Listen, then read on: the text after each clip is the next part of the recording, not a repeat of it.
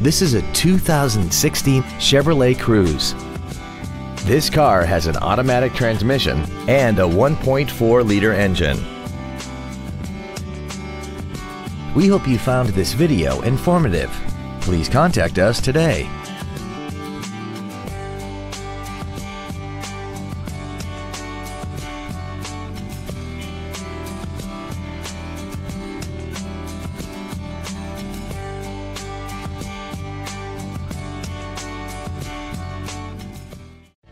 Thank you for considering Young Chevrolet for your next vehicle. If you have any questions, please visit us at youngchevrolet.com.